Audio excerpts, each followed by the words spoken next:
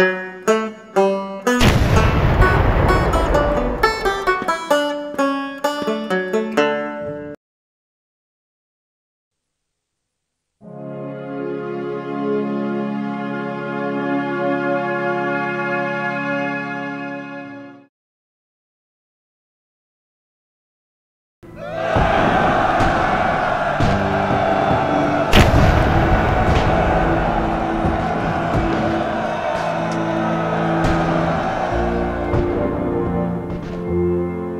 By June of 1863, the Confederates had won most of the major battles of the Civil War.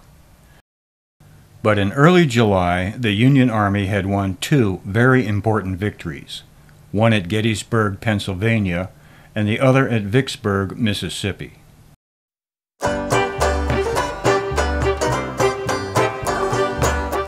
Southerners needed another major win somewhere to keep their hopes alive if they were to realize their dream of an independent Southern nation.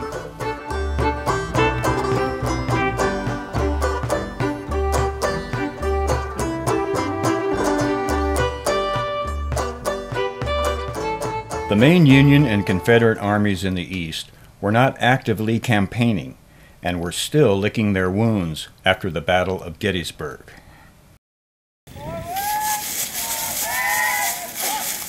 General Braxton Bragg commanded the main Confederate army in the western theater of the war.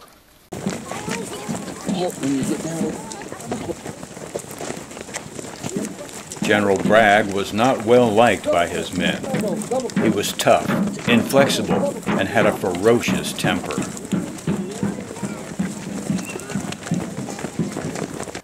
Bragg's opponent was Union General William S. Rosecrans.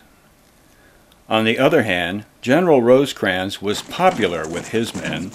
They nicknamed him Old Rosie. Rosecrans outmaneuvered Bragg's army, forcing the Confederates to retreat south from Tennessee into northern Georgia. Rosecrans accomplished this without having to fight a major battle. Because Rosecrans believed that he had the Confederate army on the run, his 58,000 man army was scattered out to chase them down. Rosecrans' army was divided into three corps, and he was attempting to encircle Bragg's 60,000 man army.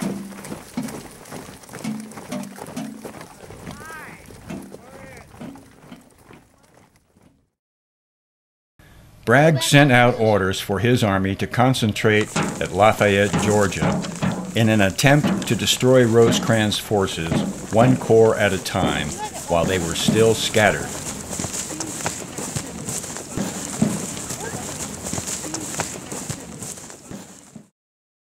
Bragg's subordinates did not have much confidence in Bragg's ability to lead, and when General Bragg issued orders to attack, his officers created excuses as to why they could not follow his orders.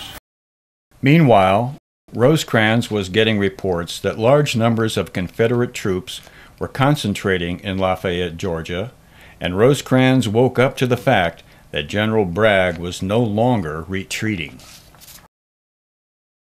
Rosecrans issued orders for his army to reunite in the vicinity of Chickamauga Creek, a few miles southeast of Chattanooga, Tennessee. At dawn, September 19th, 1863, both armies were solidly facing each other along a line stretching six miles.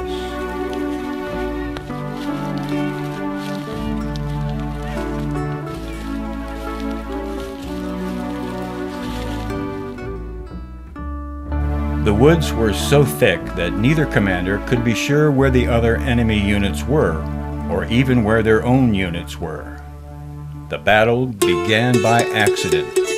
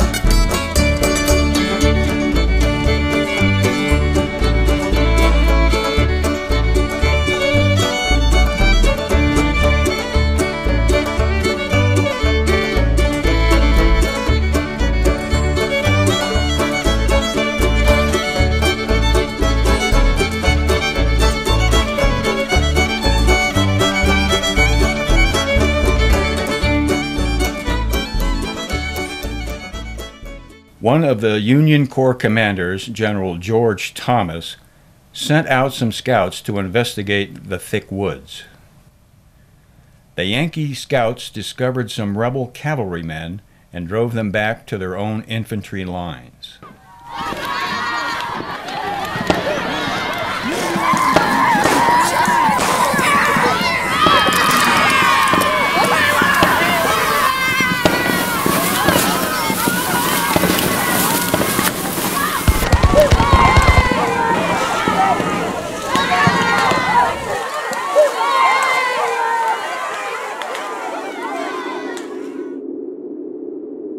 Then the Confederate infantry advanced, pushing back the Union scouts.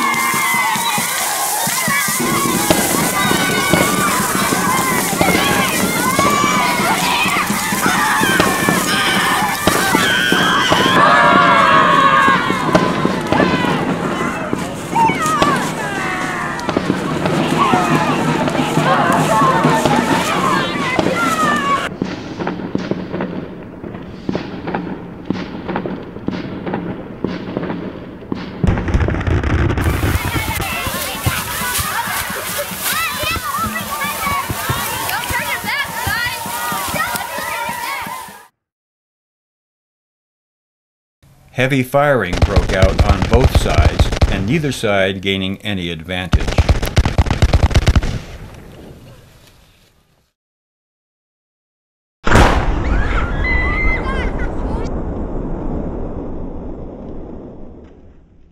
All day long, Bragg attacked the Union left flank, hoping to push the Yankees into a dead-end valley.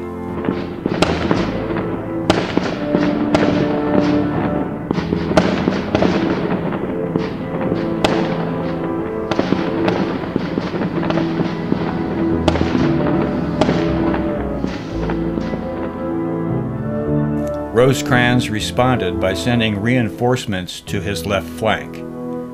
Rosecrans was fortunate that his left was commanded by one of the toughest generals in the Union Army, General George Thomas. Thomas had direct telegraph wire to Rosecrans. Telegraph was considered to be the ultra-modern technology in 1863, and Chickamauga was one of the few Civil War battles where this high-tech device was used to good effect.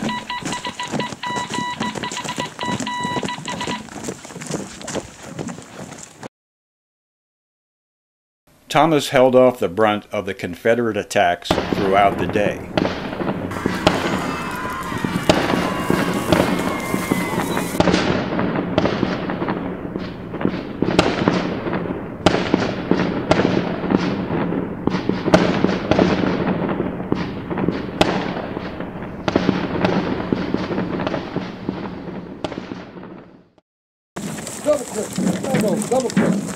Early in the morning of September 20th, Bragg got reinforcements. Confederate President Jefferson Davis ordered General James Longstreet, along with 12,000 tough veterans from Robert E. Lee's army, to board trains to join Bragg at Chickamauga.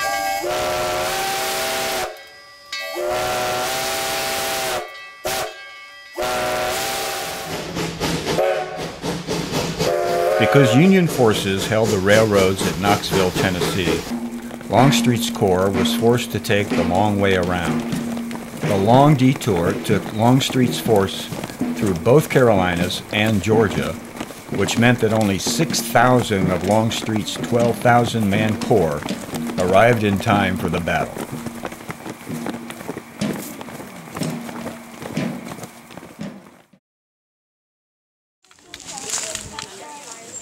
With Longstreet's arrival, Bragg would now have 66,000 men with which to oppose Rosecrans' 58,000. Bragg gave command of his right flank to General Leonidas Polk. Bragg issued orders for Polk to begin the attack, which was to be followed up with an attack by Longstreet on the Confederate left. Bragg waited several hours, listening for the sound of Polk's attack. General Bragg wants to know why he doesn't hear any battles coming from your division. Do tell General Bragg that my heart is overflowing with anxiety. Overflowing!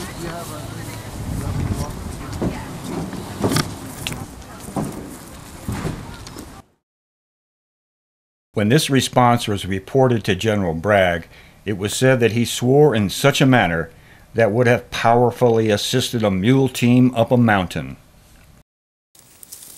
Bragg ordered Polk to attack immediately. Polk's attack made no headway.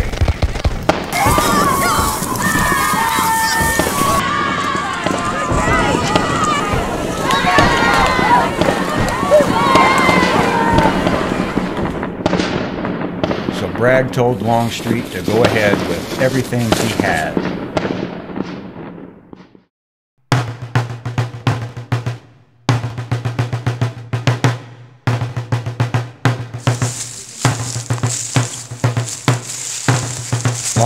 Then had a great piece of luck.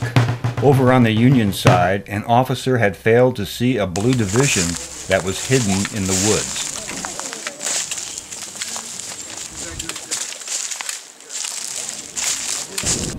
This officer reported to Rosecrans that there was a dangerous quarter mile gap in the Union battle line. Upon hearing this, Rosecrans ordered another division to move over to close this supposed gap. The result was, while trying to close a gap that did not exist, Rosecrans created a real one.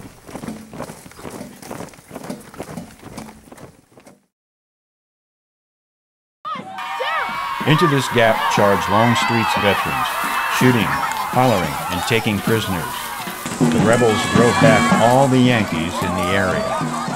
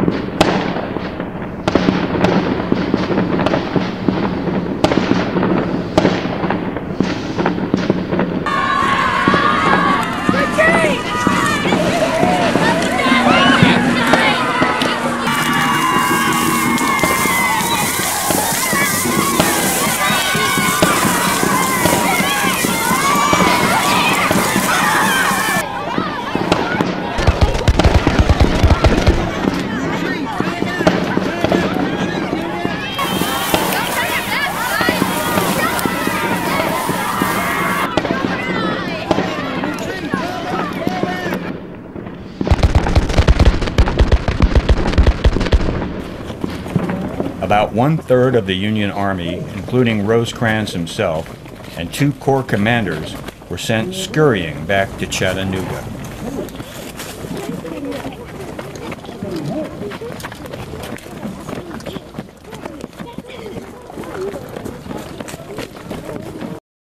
Longstreet could not believe his luck. He sent messages to Bragg asking for reinforcements to follow up where the Confederate Army was breaking through. But Bragg responded that he could not spare any troops from his exhausted right and that Longstreet would have to make do with what he had.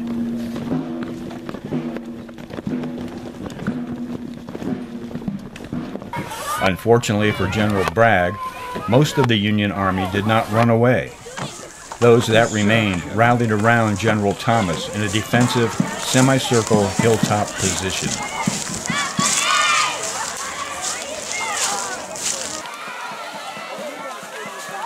From there, Thomas held off repeated attacks by Bragg's entire army.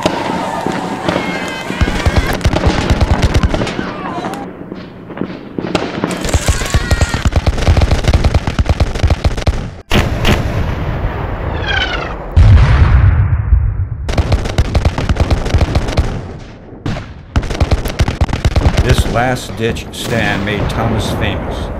He was nicknamed the Rock of Chickamauga.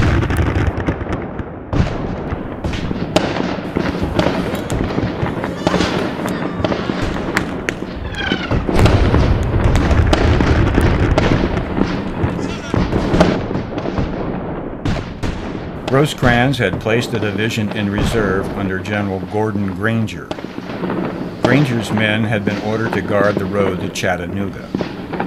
Granger, hearing the sound of a large-scale far-off battle, went against his orders and said, I'm going to Thomas.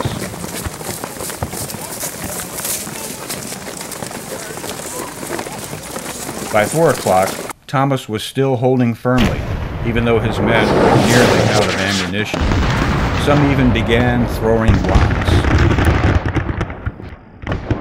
Looking behind them, the Union soldiers could see a large force coming toward them and moving fast. If these turned out to be rebels, the whole Union Army would be wiped out, and everybody knew it. When Granger's men arrived, bringing extra ammunition, Thomas was overjoyed. Granger's division arrived in time to repel several heavy attacks by Longstreet.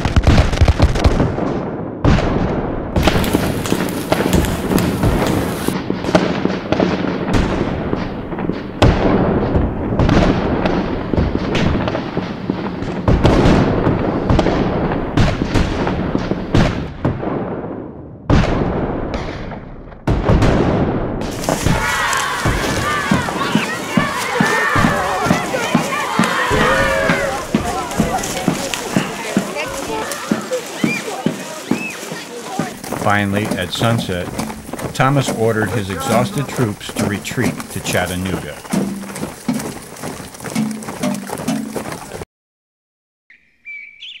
The next morning, Bragg's generals urged him to pursue the Yankees before they could reorganize behind defensive positions in Chattanooga.